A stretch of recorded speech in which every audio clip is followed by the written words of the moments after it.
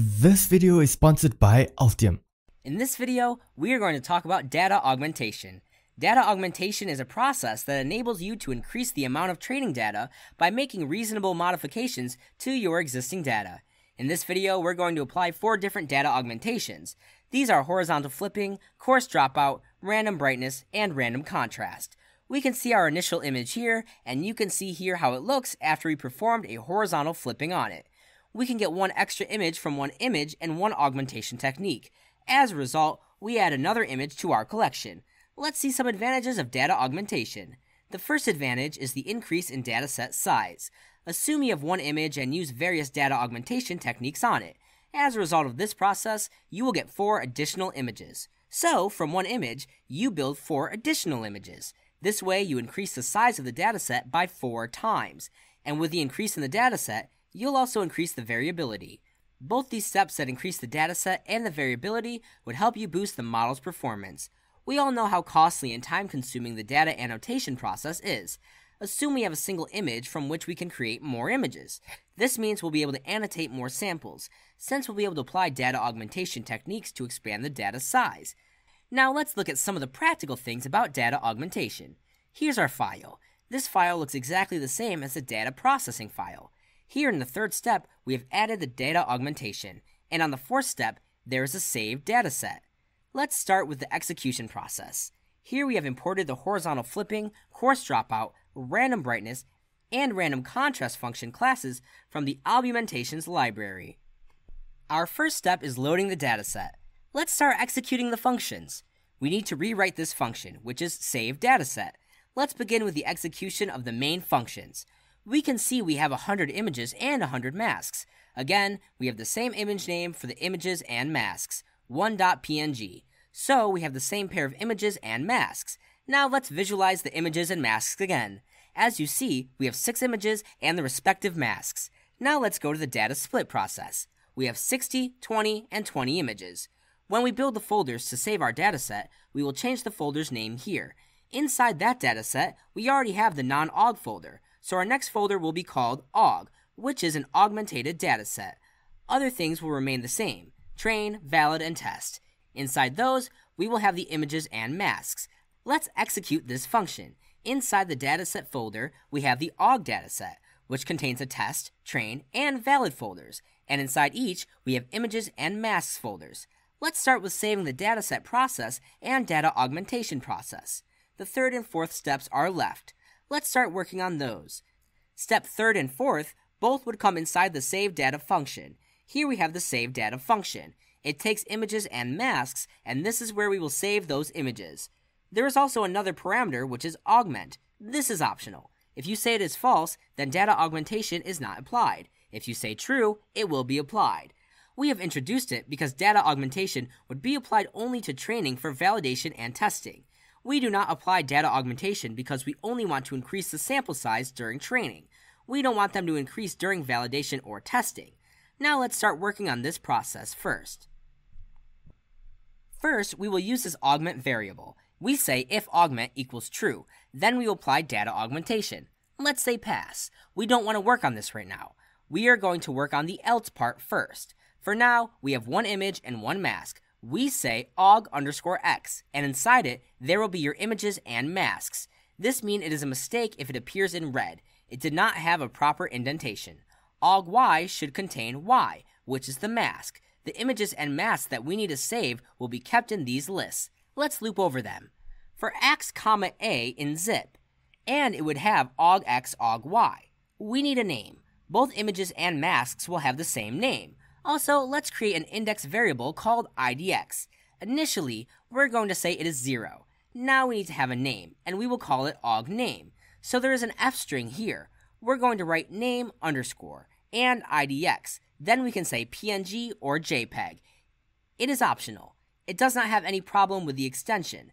Now, we need the names. We're going to have our path. So this is our image path, we will save our image. Then this path to save our mask. So it will be save dir images and then the aug name. And same for the masked path. Save dir masks folder, then aug name. There is the accent A, we will write cv2.imwrite, then save image path, and ax. We will use the same function again, save mask path. Instead of the ax, we will type a. This part is complete. If you don't want to apply data augmentation, this part is done. This is not our main task. Our main task is to write the data augmentation. This video is sponsored by Altium, the industry standard and most professional PCB design software on the market. I've used Altium for designing printed circuit boards to build my own custom Arduinos and high-speed on-edge computer vision projects. When I tested other PCB CAD softwares out there, I found that nothing came close to the flexibility, ease of use, and power of Altium Designer. I mean, if you ever worked on PCB design for computer vision applications, you know that transmitting video signals is a very delicate task, with many high-speed signals that you have to consider in terms of electromagnetic noise, and crosstalk. Altium helps you to easily manage and route high-speed signals with length tuning to ensure that you receive clear image quality on the other end. What's really great is that we have partnered up with Altium to bring you an exclusive discount for our Augmented Startups community. Sign up with the link down below to get 30% off monthly of the perpetual license of Altium Designer. You can also try out Altium Designer for free for the first 15 days. Just click the link down below to get started. And here comes the data augmentation part. Let's write the data augmentation path. We have four data augmentation techniques. The first is horizontal flipping. First of all, we will apply horizontal flipping. So we will say aug equals horizontal flip. And inside this class, we're going to say p equals 1. P stands for probability, indicating how much probability the augmentation technique should have. We'll say apply it with a probability of 1, which means it'll be applied 100% of the time. This is our transformation function, which is aug. We're going to say augmented, and we are going to use this aug function. And inside it, we need to give our images. The variable is the image, so it takes the image, then we type the mask. It will take the mask, and we apply that technique, the augmented data dictionary. Our transformed image and mask will be x1 equals augmented image, and our mask will be y1 augmented mask. This way, we have applied horizontal flipping augmentation, and it would take the original X image and the original Y mask and give us a transformed image as X1 and as a transformed mask as Y1. Now we will create the same list again, augX and augY, and we are going to append that data to this list, X1 and Y1 this way. We will apply three more data augmentation techniques. The second will be coarse dropout. The second will be coarse dropout. Inside coarse dropout, we remove some square parts of the image. Inside coarse dropout class, we have some parameters. As we know, P stands for probability. We are 100% sure that we want to apply and the maximum number of holes. Let's say 10. Maximum height and width of those holes, you can change them accordingly. But for now, I'm applying 32 by 32. The rest of the process will remain the same. Let's apply two more data augmentation techniques, random brightness and random contrast we have four modified sets of images and masks x1, x2, y1, y2, then x3, x4, y3, and y4. Let's add them to the list. This is our data augmentation part. Our function is now complete. Let's execute this. Let's go on to the data augmentation part. This function is the main thing here. For the training set, we're going to say augment equals true, but for the rest of them, we're going to say false, because we want to apply data augmentation to the training part. Let's start executing it. As we see, the training part is working. Now we will go inside the train folder. It has 300 images. We had 60 images before the data augmentation, so we have increased the size of the dataset by five-fold. I will show you some samples. This is the first image, and it is an original image. This is the horizontal flipping. This is the coarse dropout.